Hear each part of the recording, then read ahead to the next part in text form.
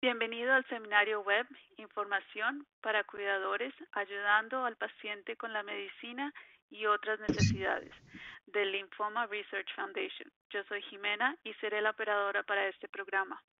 Durante el programa escucharemos información compartida por un doctor experto en linfoma y tendrá la oportunidad de hacer preguntas. Si hay alguna pregunta durante el programa, la puede enviar a cualquier usando la caja que ve en su pantalla.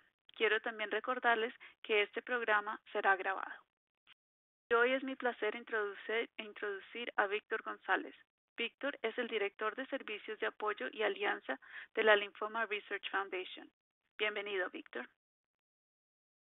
Gracias y gracias a cada uno de ustedes por participar en este seminario web. También queremos darles las gracias a los patrocinadores de este programa, AstraZeneca y Janssen. Sin su apoyo, este programa no sería posible. Antes de comenzar, quiero compartir información sobre la Lymphoma Research Foundation con ustedes. La Lymphoma Research Foundation es la organización más grande en el país que está centrada en el cáncer de linfoma. Nuestra misión es erradicar el linfoma y ofrecer servicios a todos aquellos que han sido afectados por esta enfermedad. La Fundación ofrece información y programas gratuitas sobre el linfoma y las terapias más comunes. Por ejemplo, nosotros ofrecemos una línea de ayuda donde podemos responder a sus preguntas sobre la enfermedad, diferentes tratamientos y los estudios clínicos. También tenemos disponibles folletos sobre ciertos subtipos de linfoma y nuevas terapias. Ofrecemos también asistencia financiera para ayuda con gastos relacionados al tratamiento del linfoma.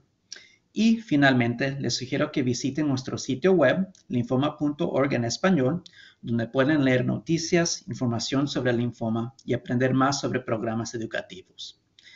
Si tiene alguna pregunta sobre estos recursos, por favor llame a la línea de ayuda al 1-800-500-9976.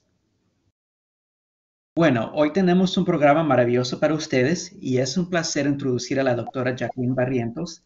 La doctora Barrientos es una hematóloga y oncóloga en el Centro ah, Médico de Mount Sinai en Miami, Florida. Doctora Barrientos, gracias por estar aquí con nosotros. En este momento le paso el programa a usted.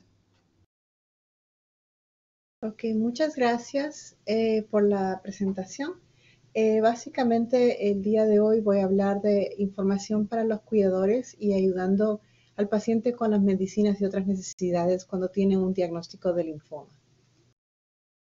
Eh, la agenda será primero discutir el linfoma maligno y lo que los pacientes deben saber son los tratamientos y ensayos clínicos.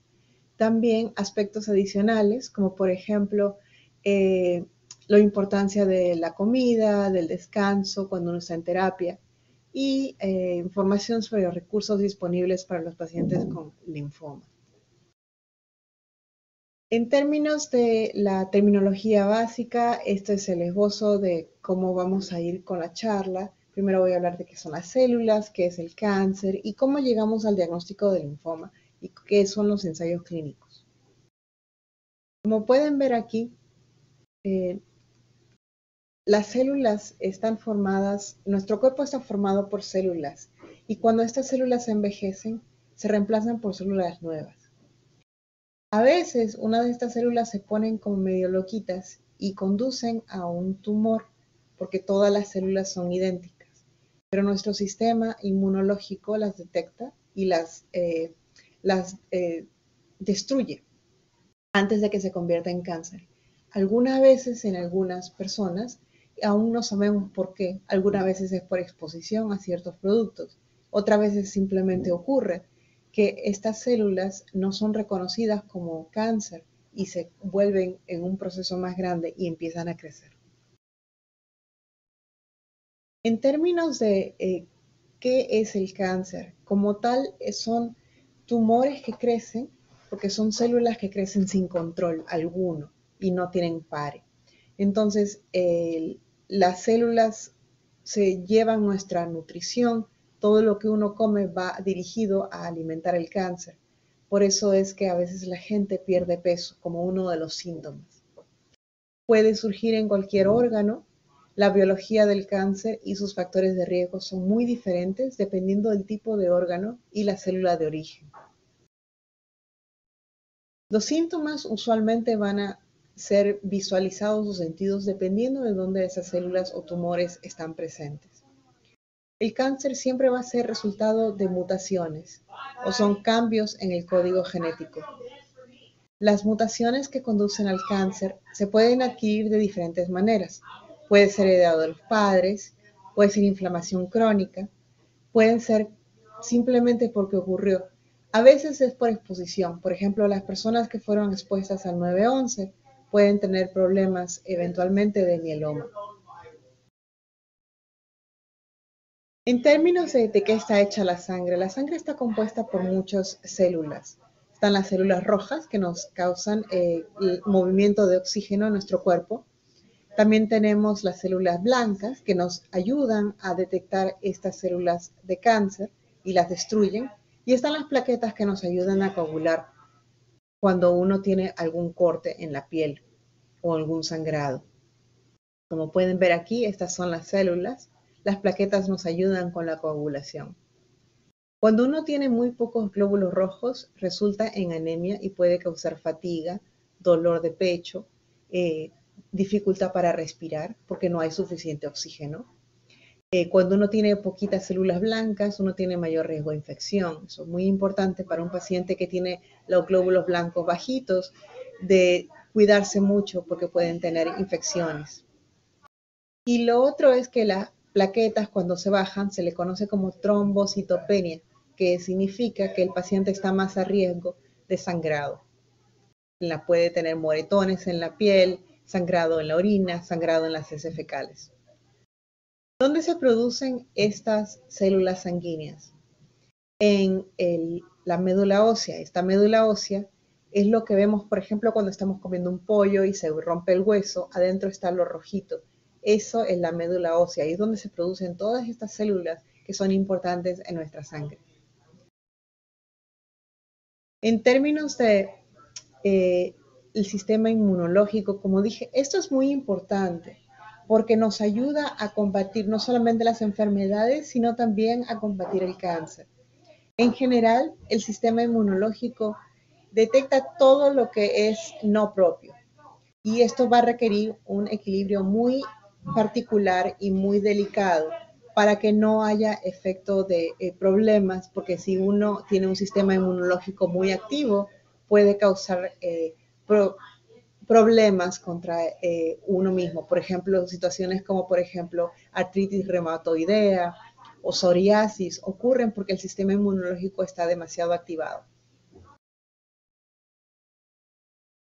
Eh, ¿Cuáles son las partes del sistema inmunológico? Los glóbulos blancos, los anticuerpos, el sistema de complemento, el vaso que se ocurre en el lado izquierdo, la médula ósea y el timo. Los glóbulos blancos se dividen en dos tipos, los granulocitos y los linfocitos. Los granulocitos eh, incluyen los neutrófilos, que son los que ayudan a matar a las células, a las bacterias, a los hongos. Y los linfocitos son los que pueden causar el linfoma. Se dividen en linfocitos B y linfocitos T. Los linfocitos B son los que producen anticuerpos y los linfocitos T son los que ayudan y matan a las células que están infectadas o a las células cancerígenas. Por eso son muy importantes, es como el yin y el yang en los linfocitos. Hay otras células también que ocurren en nuestros glóbulos blancos, pero no son tan importantes como estas.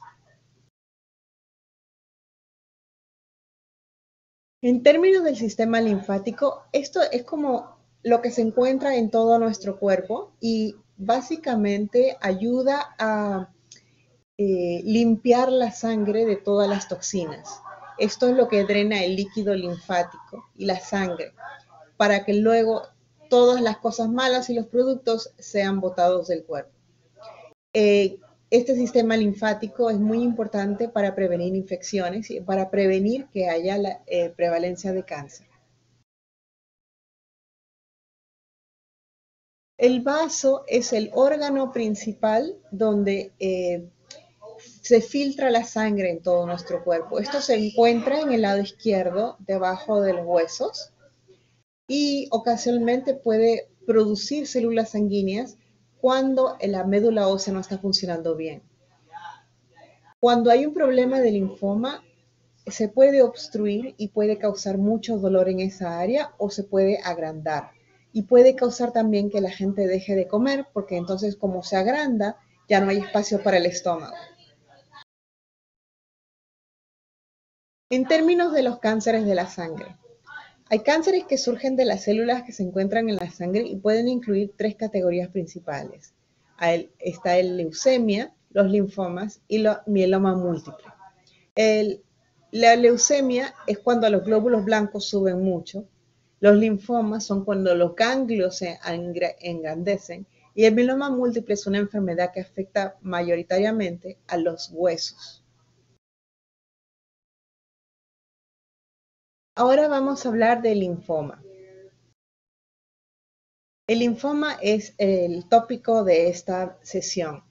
Es un cáncer de la sangre que se desarrolla en el sistema linfático a partir de las células llamadas linfocitos, que como dije son muy importantes para eh, producir anticuerpos y para destruir células que no deben estar ahí, como cáncer o bacterias.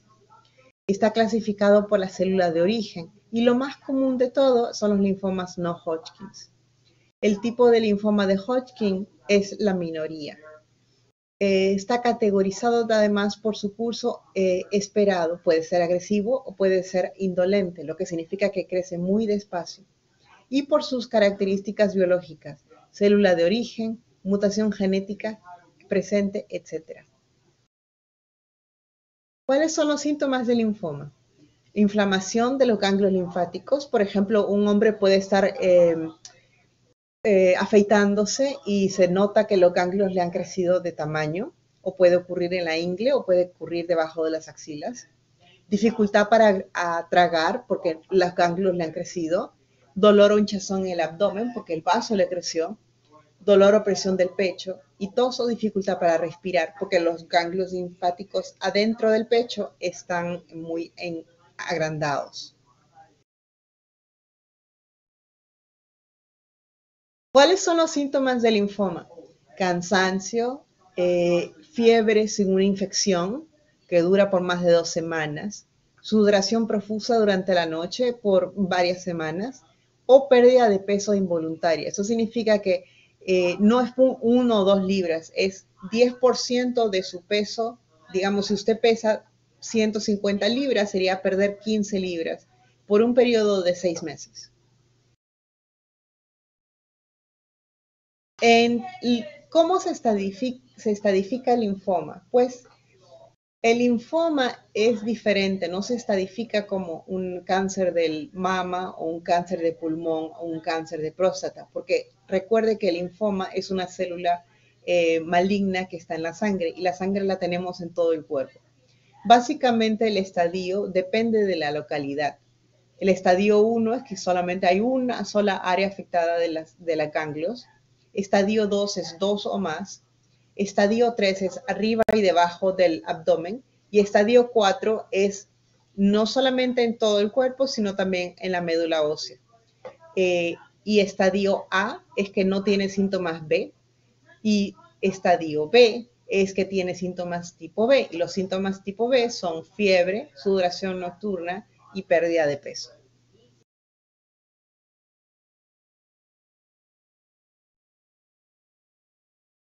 ¿Cómo se trata el linfoma?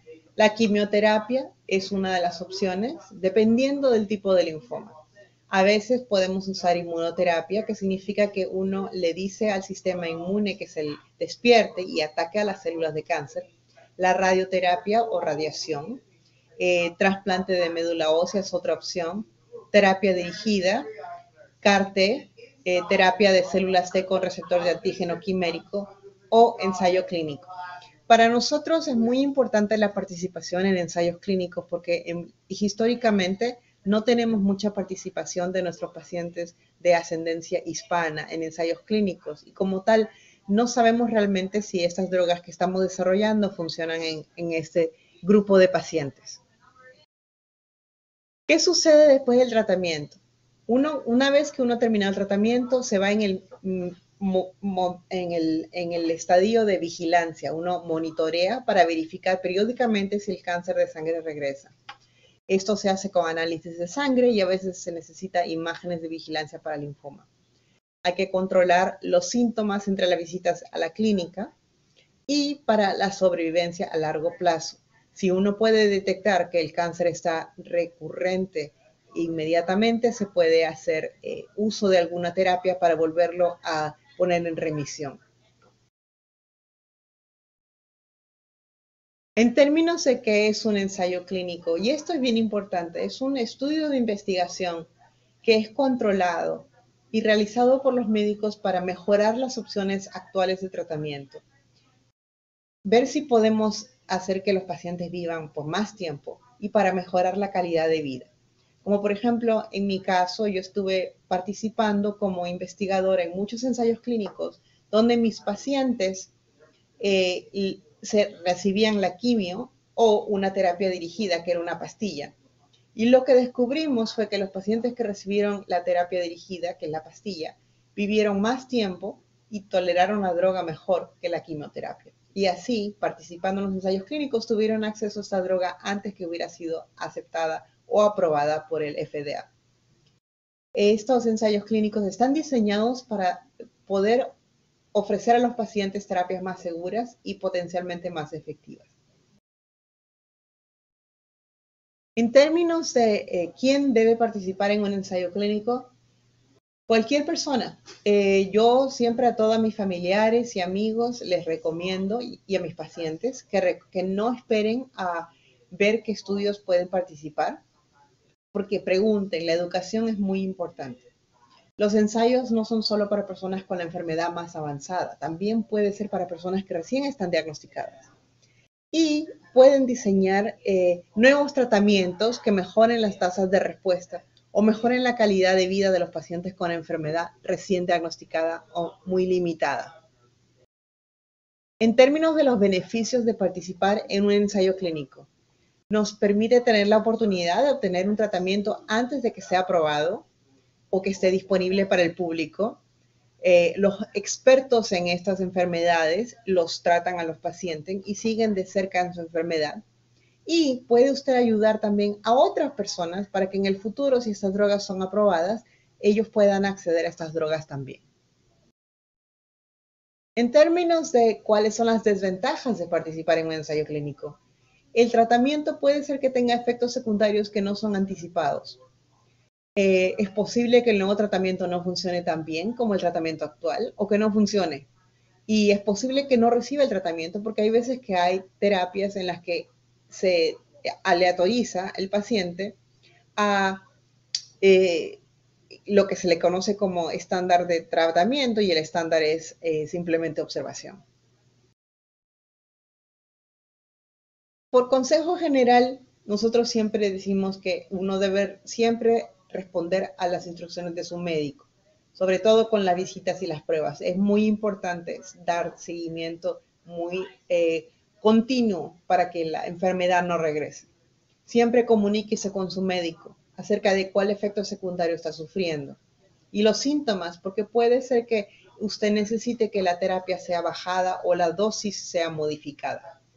Antes del tratamiento, pregunte cuáles son los beneficios del tratamiento, cuáles son los riesgos del tratamiento. Tenga su lista.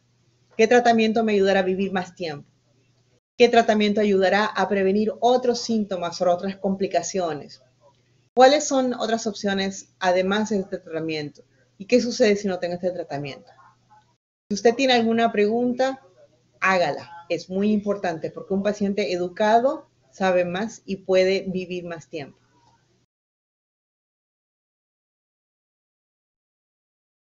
Ahora, ¿cómo ayudamos a nuestros pacientes y a nuestros eh, familiares o amigos que tienen esta condición de linfoma y los efectos secundarios de las medicinas?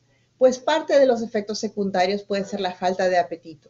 Así que nuestra recomendación es que coma poca cantidad de comida, no se eh, embuta la comida si es que no la quiere, que tenga valor nutritivo que sean ricos en proteínas y calorías para mantener o aumentar el peso. Y coma con más frecuencia, hasta seis veces al día, Por ejemplo, eh, la palta o el avocado o eh, el aguacate tiene muchas, muchas calorías y eso puede ayudar si es que se lo come una. Y lo otro es eh, crema de maní, pasta de maní, sancocho, todo eso tiene, puede comer poquito y aún así tener, tener mucha nutrición.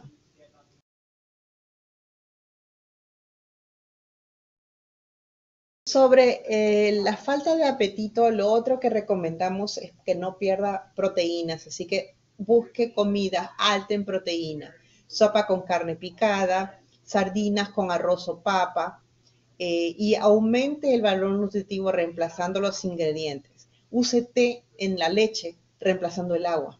Eh, crema de pollo en vez de consomé de pollo para que sea más sustanciosa y coma a la hora del día que sienta más apetito.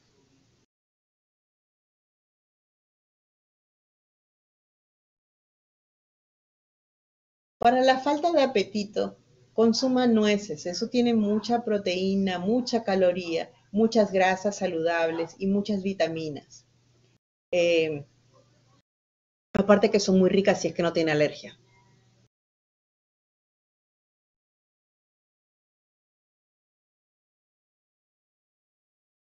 Si tiene náusea y vómitos, consuma alimentos fríos que sean bajos en grasa, porque la grasa le puede dar mayor pesadez al estómago. Tomen los líquidos entre las comidas, no con las comidas para que no se llene la barriga. Evite los alimentos con olores fuertes. Coma poca cantidad y con más frecuencia durante el día, hasta seis veces. Si tiene resequedad en la boca o la saliva espesa, y eso es muy común, tome el líquido después de cada bocado de la comida. Prepare té y tome periódicamente durante el día. También puede eh, chupar paletas eh, de helado hechos con jugo de fruta y trocitos de fruta. Eh, no use enjuagues bucales de los que tiene alcohol porque le pueden arder. No tome bebidas con alcohol. Tampoco tome algo que sea ácido, como por ejemplo dulces um, o el limón. Pero sí puede tener chupar estos dulcecitos que venden que son como lo que le llaman lemon drops, que son de sabores cítricos. Acompañe los alimentos con salsas para que no sea muy seco. Coma los alimentos blandos como gelatina, helado, arroz con leche, sopas, cremas, compota de fruta, puré, puré de papa. Para la diarrea, aumente el consumo de líquidos. Esto es muy importante para evitar la deshidratación. Tome o coma alimentos con alto contenido de sodio y potasio eh, para reemplazar los electrolitos que pierde con la diarrea. Por ejemplo, el, plátano, la banana, la naranja, este, la piña. Coma alimentos ricos en pectina, fibra, como eh, manzana, papa, este, arroz, Para la diarrea y la hidratación, tome un vaso de líquido por cada episodio de diarrea. Evite el consumo excesivo de alimentos con azúcares artificiales porque eso lo, complica. Y evite los alimentos con mucha grasa porque lo hace más difícil de tolerar. Eh, y, como les decía, para la diarrea, plátanos, arroz, este, compota de manzana, tostadas las frutas y los almidones que aporten consistencia para que se haga así eh, durita la, la, la excreta.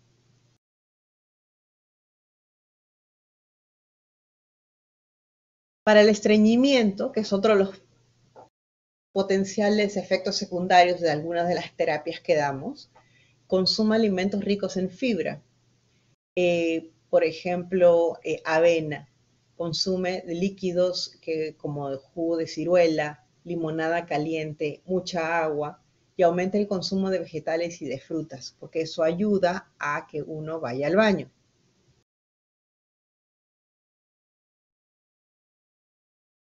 Cuando uno tiene la mucositis, o que son las llaguitas esas que salen en la boca por la terapia, por la quimio, puede usar un enjuague de bicarbonato de soda con sal diluido en un vaso de agua También puede comer alimentos blandos, ricos en proteína y calorías para ayudar a, sanar las llagas. Y chupe un helado antes de comer, porque eso adormece el frío y también le causa como calma el dolor que puede tener las llagas. ¿Cuáles son los beneficios de una alimentación adecuada durante el tratamiento? Fatiga y días ocupados con citas médicas y tratamiento pueden llevar al agotamiento físico. Por eso es importante una alimentación nutritiva y balanceada para que usted pueda mantener su fuerza y energía para poder tolerar el tratamiento. Es importante que si usted se siente cansado, no se,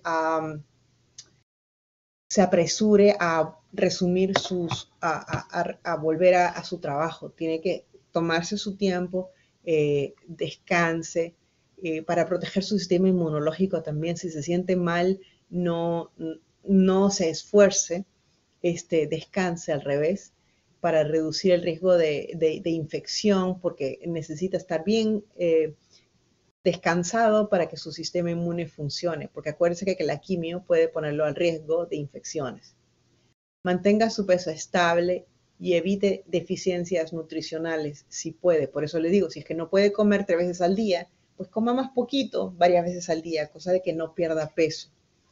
Y es importante también reconocer que eh, uno debe tener eh, mucho fortaleza en su estado emocional, por eso los eh, familiares y amigos deben de ayudar mucho para que no haya problemas de, de depresión. Y si ocurre, pues no hay nada malo en decírselo a su doctor para que considere alguna psicoterapia. Porque hay psicólogos y psiquiatras que pueden ayudarlo a lidiar con el problema. Claro, es un diagnóstico muy fuerte. También tenemos esta línea de ayuda y red de apoyo para linfomas de la Lymphoma Research Foundation, de la Fundación de Investigación de Linfoma. Este diagnóstico de linfoma puede desencadenar muchos sentimientos y preocupaciones y puede causar molestias físicas. Por eso es que hay un personal que lo puede ayudar hay un teléfono. El teléfono de la línea de ayuda es el 800-500-9976. Otra vez, 800-500-9976. O pueden enviar un correo electrónico a helpline.linfoma.org. También hay una aplicación móvil que se llama focusonlinfoma.org. Esta es una aplicación móvil que le proporciona a los pacientes y a los cuidadores un contenido sobre el linfoma, herramientas para ayudar a controlar el linfoma, eh, cómo realizar el seguimiento de los medicamentos y los análisis de sangre. Y eh, se puede descargar a dispositivos de Apple y de Android en, estos eh, celulares. Y con esto les agradezco mucho la atención. muchas gracias. Espero que puedan haber entendido cómo eh, ocurre el linfoma, eh, los eh, efectos secundarios que pueden ocurrir de los medicamentos y cómo la, uno puede ayudar a su colega, familiar, amigo que está sufriendo y está pasando por la etapa de tratamiento que puede contraer efectos secundarios. Y con esto abro la charla a, ustedes para si tienen alguna pregunta. Yo estoy encantada de, respondérselas. Bueno, muchas gracias, doctora Barrientos. Ah, y en este momento vamos a comenzar la porción de preguntas y respuestas del programa. Ah, y si alguien en la audiencia quiere hacer una pregunta, por favor envíe su pregunta en la caja que ve en su pantalla. Uh, sí recibimos algunas preguntas en avance y la primera pregunta es, alguien que dice, mi hijo tiene linfoma y está recibiendo tratamiento hay algunas hierbas que le puedo dar para ayudar su sistema. Usualmente cuando las personas están recibiendo tratamiento preferemos no darles hierbas porque podrían interactuar con la quimioterapia o causar algún problema en el hígado, porque recuerde que el hígado es nuestro lo que metaboliza todo lo que consumimos.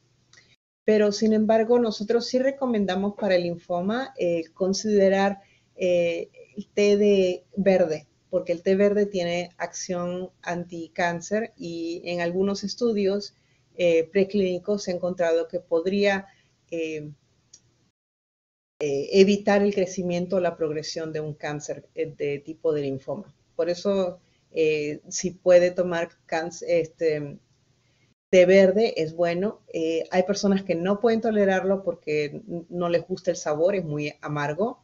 Y la otra opción es tomar un poco de vitamina de, té, um, de té verde que puede eh, conseguir fuera de, um, como se dice, sin receta médica.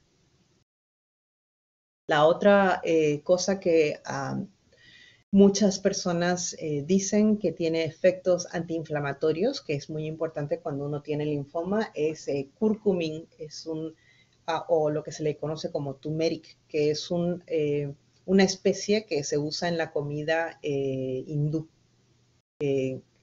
esa cosa que le da el color en naranja en la comida. Bueno, muchas gracias. Ah, bueno, muchas gracias. Y ah, la, próxima pregunta es, ah, si mi esposo tiene linfoma, ¿necesito lavar los vegetales y las frutas con jabón si cocino? No con jabón. Lo que nosotros decimos es que si alguien está en tratamiento, no, con, el linfoma, con el linfoma no hay problema, pero cuando uno está en tratamiento activo, puede ocurrir que los neutrófilos bajen. Y si bajan, uno no tiene defensas contra las bacterias. Entonces, nuestra recomendación es que todo lo que coman cuando está en tratamiento y está neutropénico que tiene los glóbulos blancos bajitos, es que se coma, que se pueda pelar. Por ejemplo, si tiene un plátano y lo puede pelar, pues eso que está dentro se lo puede comer. Pero no recomendamos frutas como las fresas, por ejemplo, porque como tienen tantos hoyitos o los berries, este, tienen tantos hoyitos que puede por ahí haber bacterias. Lo que decimos es que si quieren pueden comer eh, fresas congeladas, porque ya las bacterias las han, matado. O si tienen que comer algo así que no está bien cocido, que lo limpien muy bien. A veces venden unas, eh, ¿cómo Escobillitas para limpiarlo bien con agua. No necesidad de ponerle jabón, pero sí con, con agua para sacarle todas las bacterias y limpiarlas bien y sacarle insecticida o tierra o cualquier otra cosa así.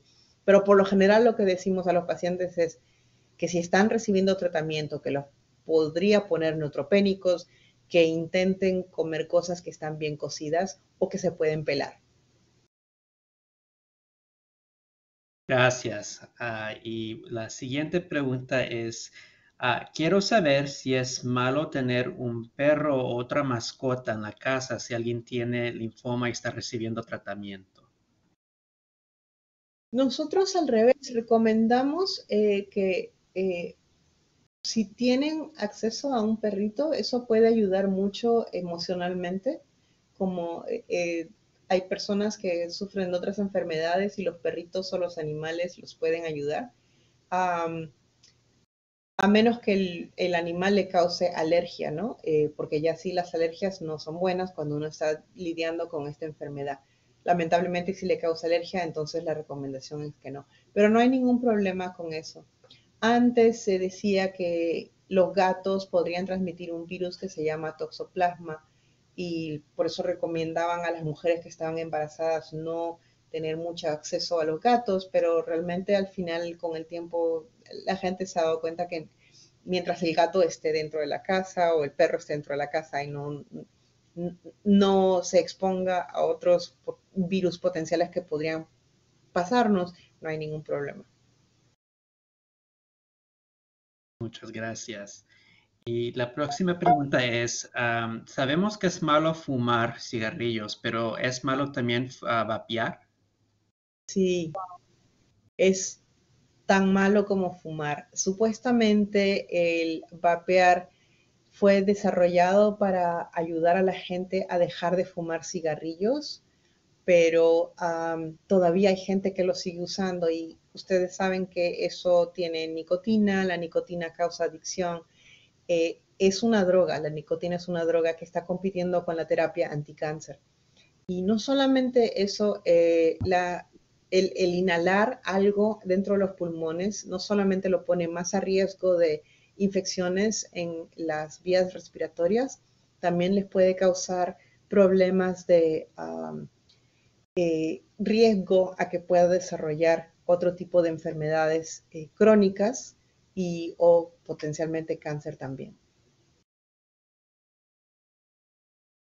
y la siguiente pregunta. en la época de COVID, este, que el COVID sube y baja y sube y baja, ahora está en subida otra vez en los Estados Unidos. Las personas con problemas respiratorios pueden sufrir más con, ese Sí, es verdad, con mucha razón. Ah, bueno, muchas gracias. Y ah, la, siguiente pregunta es, ah, si la persona que yo cuidaré recibirá CAR-T, CAR-T, ¿es verdad que tengo que estar con ellos todo el tiempo? Sí, porque hay efectos secundarios que pueden ocurrir que pueden causar muy rápido. Y lo otro es que el sistema inmune puede estar eh, pasando por momentos en los que necesita ayuda o puede estar muy cansado o puede tener una fiebre y no poderle avisar a su doctor. Es más por la ayuda en términos de qué tal si hay una complicación.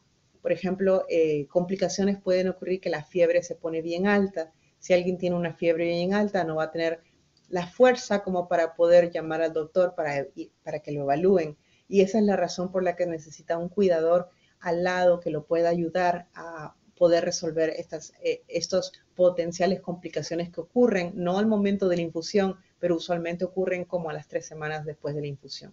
Lo otro que puede ocurrir son eh, cambios mentales, eh, como desorientación. Entonces, Obviamente, si uno tiene desorientación, se puede caer y esa es la razón por la que se dice siempre que hay un carteo un eh, trasplante de médula ósea, que alguien dedicado se pueda quedar con esa persona para poderlo ayudar por cualquier complicación que pueda surgir. Muchas gracias. Y la última pregunta que tenemos es, ah, mi mamá tiene linfoma y está recibiendo uh, ibrutinib, uh, ¿se puede aplastar las pastillas si ella no le gusta tomarlas? La respuesta es no, pero no significa que no lo haya hecho. Eh, no se supone, porque eh, las pastillas se supone que se deben tomar completas, pero en casos eh, de emergencia que lo he tenido que hacer con algunos pacientes que no podían tragarlo. Si lo hicimos y eh, es lo que se le conoce como off-label, no se supone que, se haga así. Eh, podría, lo que a veces recomendamos en pacientes que no pueden eh, tomar, que tienen dificultad, es este, la pastilla puede venir en 140 y entonces uno toma tres pastillas al día o cuatro pastillas al día, pero también existe una cápsula que uno puede tomar una sola pastilla en lugar de tantas pastillas al día, que quizás eso pueda también ser una opción que la podría discutir con su, con su doctor. Bueno, uh, muchas uh, gracias uh, una vez más, doctora Barrientos, y a todos los que estén aquí con nosotros. en algunos días recibirán un correo electrónico con una forma de evaluación para este programa. Le pido que por favor complete esta evaluación para ayudarnos a hacer programas más útiles para ustedes. Pero si tiene alguna otra pregunta, por favor llame a nuestra línea de ayuda al 1-800-500-9976. que tengan todos un buen día. Adiós.